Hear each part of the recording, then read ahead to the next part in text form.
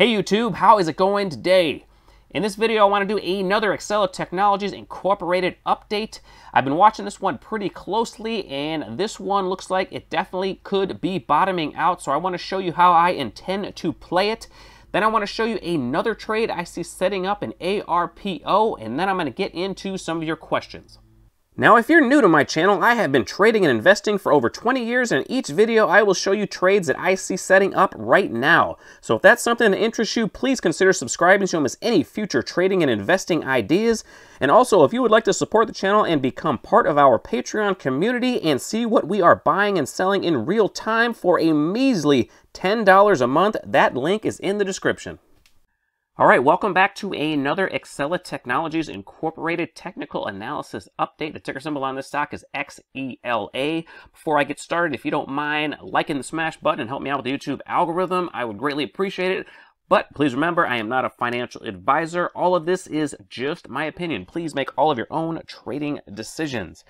That being said, this chart right here is the daily chart, and as we can see, it's having a pretty decent reversal so far. It's up about 9.5% at the moment, so a nice little day on Exela Technologies. I talked about yesterday how I was making this bullish hammer formation right here, and that was um, leading to a possibility of a decent looking reversal signal, and that's what we're getting right now.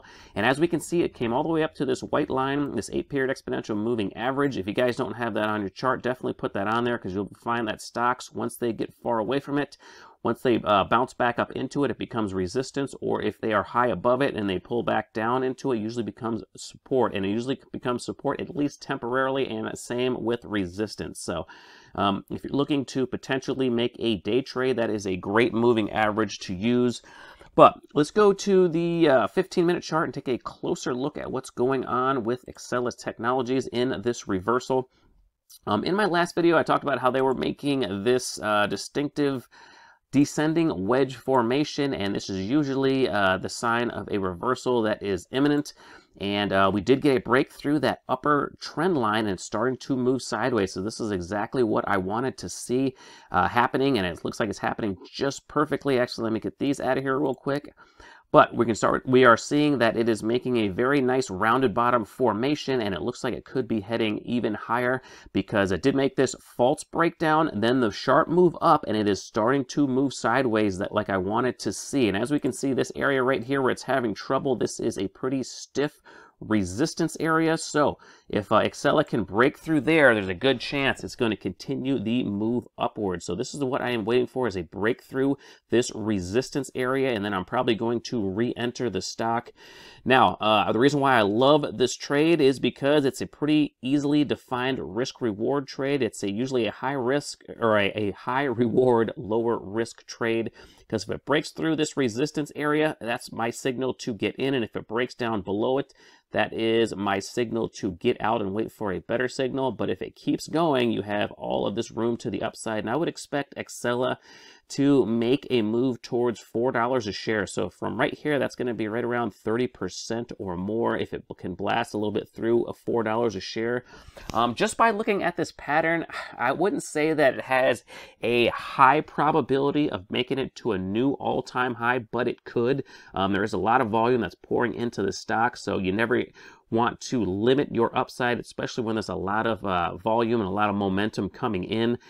But just in my experience of this pattern, I usually like to take profit right around halfway up a retracement of this move. So this move has been all the way down to the bottom has been just over 50%. So what I want, what I would like to do is take my uh, profit right around this level right here, just over $4 or so. That should be about half of the move. Plus you have this resistance area right here. So uh, chances are there's going to be um, you know, some selling coming into the market right here, whether it has enough, you know, umph to, to push through that level, well, it's something we're going to have to wait and see. But uh, Exela Technologies is doing exactly what I was hoping was going to do. And I think this is a very bullish pattern. So I'm looking forward to getting back in this stock if it can break through that level. And actually, let's go take a look at the weekly chart real quick. If you are not familiar with my channel, um, um, I really like to see long bases, and Exela definitely made a long one and went on for longer than a year. And usually, if you have a long base like that, that's the foundation that sets up a stock for going on a you know multi-month run. And that's what i'm hoping to see in Exela technologies. You never know if it's going to happen. But when i see this long base then i see a lot of volume coming in especially on this weekly chart. Um, I, it usually tells me there's a higher probability of having a decent move to the upside. And if we zoom in a little bit closer, we can see Exela has held above that eight period exponential moving average on the weekly chart. So that's telling me the long-term trend is still to the upside. So um, all signals are go for this stock. So um, hopefully it does have a break through that resistance area that I uh, showed on the chart earlier. And that's going to be my signal to uh, get back in. All right, the next stock I want to talk about is ARPO. They are a biotech company, and as we can see, they are having a pretty decent update today. They're up about uh, 9% at the moment. It's breaking above that 8-period exponential moving average, and it has been mired in a pretty steep downtrend. It fell from about 330 all the way down to about $1.89 a couple of days ago, so that represents about a 43% haircut. But right now it looks like it is finally making that rounded bottom. If you look a little closer, you can see that pattern that I love to look for. It's got, looks like it's got a nice little rounded bottom starting to happen with that false breakdown right here. And um, if we go to the 15 minute chart, we can probably get a better look at it. And as we can see, it is a very nice looking rounded bottom formation with a break above that resistance. Um, this is the area that is um, probably going to offer the most resistance and it is breaking through it right now and holding it. So um, if this stock ends up holding this area, I'm probably going to take a position in it before the end of the day. I like to take position in stocks like these in the last 15 minutes or so because it, um, if you've been watching stocks, you can see sometimes that they have a nice little crash at the end of the day. And if this thing has a crash and it breaks down through this uh, support area, then that kind of negates the pattern. So that's why I like to wait till the end of the end of the day. I want to make sure that that pattern um, is completed before I enter it. And then of course I'll put my stop loss probably uh, maybe a little under $2 a share. So I won't be risking a whole lot in it. And if this thing does end up taking off, which it looks like it could, um, you know, I should make uh, three, four times the amount that I am risking, hopefully. So that's a nice risk reward trade-off going here. And actually, let's go to the daily chart one more time. Let me get this thing out of here real quick. If we go to the daily chart and back it out, we can see that ARPO has been in a very long base. I mean, it's a pretty sloppy one. I like to see them tighter than this. Um, this one has had a pretty big range for considering how much this stock is worth. Oh, this thing's already starting to take off a little bit without me. Uh, hopefully it doesn't take off too far and it doesn't get too far extended. But um, just going back to this base right here, I mean, this is very important for a sustained move up. Normally, uh, stocks have a pretty decent sized base if they get into a like a multi-week and multi-month run, and that's what uh, hopefully we get with ARPO. And of course, the other thing I like to look for is big volume spikes. This tells me that bigger players are uh, taking positions and they are expecting this stock to go higher. These guys are probably in the know, and I am not, so I have to look for clues like this that shows me that the uh, the big boys are taking their position and hopefully I can ride their coattails up. But let's go to the weekly chart real quick.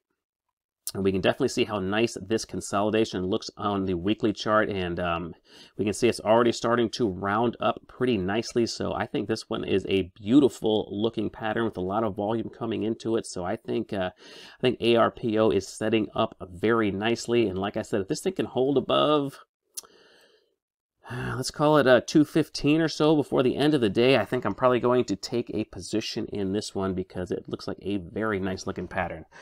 All right, well, let's get to a question that I had. I had a question from Anno Ventico. Hopefully I am pronouncing that right. And they're asking about Rolls-Royce.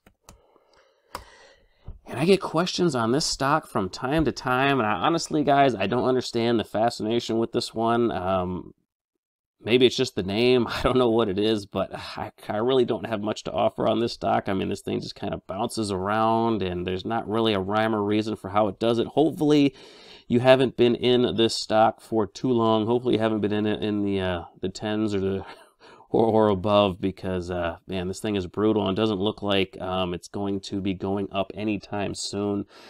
I think it's got to continue to go sideways a little bit longer. And then once we get a break above this level right here around $1.75 or so, then perhaps it has uh, built up enough of a foundation to uh, have a sustainable uptrend. But there is just way, way, way too much overhead supply going back uh, years.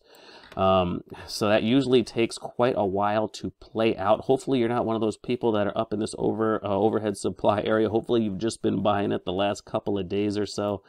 But um, as far as Rolls Royce Holdings goes, um, I don't know. I don't think personally. I think the future is kind of bleak. Who knows what what could happen? This is popular. A lot of people talk about this one.